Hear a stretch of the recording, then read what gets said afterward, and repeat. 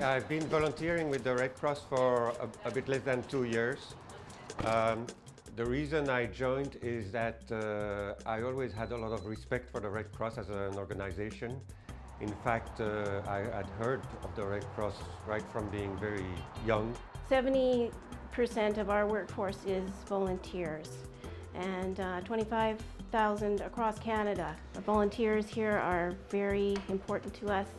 Without the volunteers, we wouldn't be able to provide the service. We do supply equipment that can be taken out and set up. This would be larger types of equipment like beds and equipment that needs to be installed. We have technicians that do that, but we need volunteers who can go out with the, those technicians um, to help unload the trucks, to just support the whole system of getting that equipment out there. I would encourage people to volunteer for the Red Cross because it's a very open organization, uh, very also very international. That's one aspect that I liked about it. The vast part of the whole Red Cross organization is run by volunteers. And without the volunteers, we can't provide these services. Go interactive with Annette. City of Nanaimo has released another Walking Heritage Tour brochure, and Chris Sholberg is here to tell us all about this walk back through time. And we're starting off in front of a very, very iconic building in Nanaimo. Tell me a bit about this, this one building. Well, this is the old Nanaimo Hospital building, built in 1925. Uh, basically, it replaced an older hospital building, a wood frame that was was nearby at uh, earlier in the late 1800s. Uh, it was only in operation until about 1962, and then that's when the Nanaimo Regional General Hospital was first constructed, and then all operations moved there. This new brochure, how many in the series you've got now? This would be seventh in a series. And how long is this walk? This walk's about 6.1 kilometers, so it's a bit of a, a bit of a walk, a bit of a hoof through the old city neighborhood, but it meanders very nicely. And if you want to have a good perception of the history of the old city and its importance to the evolution of Nanaimo as a city, this is a great walk to take. So is this kind of like this hospital building here? Is this like the starting point of it? This is about midpoint in the walk. So it starts more, more down towards the downtown core, but then it ends at the Nanaimo Cemetery. Now, what's the idea behind having these self-guided heritage tours? I mean, why is that so important for people?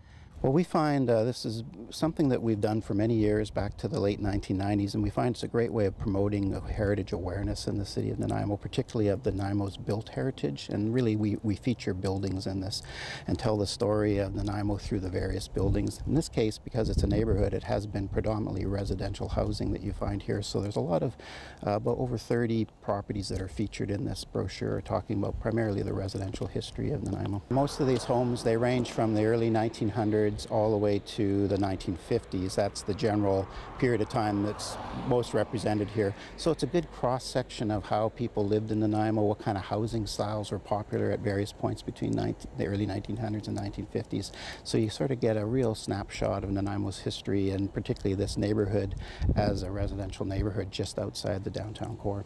And what does the, the brochure itself tell us about? I mean, is, is there a little bit of history about each of the buildings in there? Or is it just pointing out that this home was built in, say, 1925 or something like that? Yeah, well, the information provided is generally gives you a construction date as far as we know it, and then basically a little snapshot history of each of the properties, usually some connection with the people that live there, maybe a little bit of a story about those residents. Uh, so, um, and a, a, little bit about the architecture that's featured in each building. What you're looking at here is 1913 to Nanaimo when these, both these houses were constructed. And then the one next door is the Woodman residence. And the connection there was to a well-known uh, school teacher, May Woodman, who was a, lived there for years and years. That's pretty neat. So there are seven of these, and where can people get them from, Chris? These can be found at the Nanaimo Museum, Nanaimo Archives, all the uh, uh, city facilities such as the Aquatic Center, Beban Park. So basically public locations you can find these uh, racked up and available for, for, for selection. All right. Fantastic. Now you can take your own walk back in time through the city of Nanaimo. Seven different tours to take and get your brochure now and take a hike.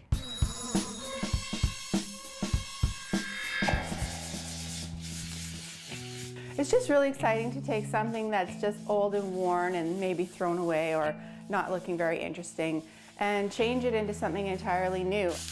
My name is Georgina. I'm the owner of Paint Chica. I have a small studio here in Cedar where I paint and upcycle furniture, refinish furniture.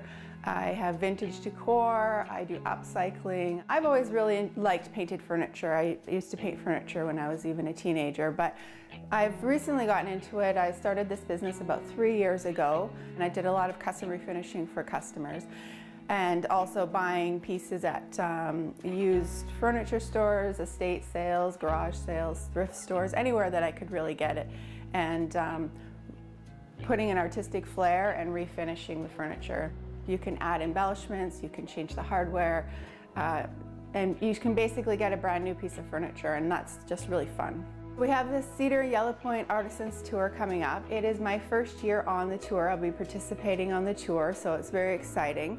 It's a four-day event, and all of the different artisans, galleries, farms in this area put on um, an event where people can come, uh, shop, try foods, view the premises, the farms, different things like that. So it's really fun and I can't wait to get everything decorated and have everybody show up.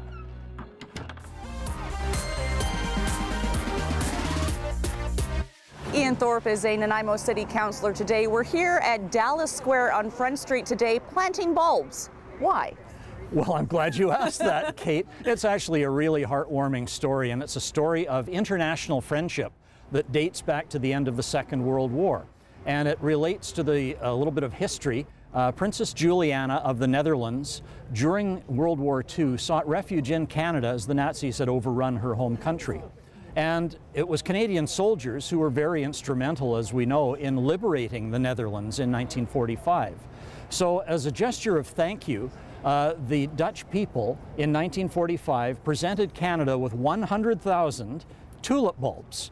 And every year since then, the Dutch people have made a present to Canada of tulip bulbs, and they have usually been planted at a garden in Ottawa. This year marks the 70th anniversary of that original gift, and to celebrate that, we had a little bit of a contest across Canada for communities to receive some tulip bulbs. There were 400 applications. Nanaimo was one of 140 communities that were chosen to receive these bulbs. And we got 700 tulip bulbs. What an honor! To create this friendship garden, a, a Dutch Canadian Friendship Garden. Wonderful. Now they're all red and white. They're all red and white. And everyone's uh, planted them who was here today, and there were some students here. There were some students here representing Bayview Elementary. We were pleased to have them here. Also, we had uh, representatives from the local legions involved and also from the RCMP, and we appreciated their attendance as well. And we'll be able to celebrate this as the tulips bloom in the springtime, but then we're also going to be welcoming visitors to the city as they follow a, a route, a garden tour route? It's an online route, apparently, and I'm going to have to check it out. It's called Canada Gardens Route, I believe, and it is online, and these gardens are going to be featured. So hopefully ours will be one of the biggest and best. Well, of course it will. Of course it will. We're always like that, aren't we? Thank you, Ian. Thank you, Kate, very Thank much. You. We're going to throw things over now to Derek Johnstone. He's spending time with the Nanaimo Air Cadets as they fundraise and prepare for a trip to Vimy Ridge.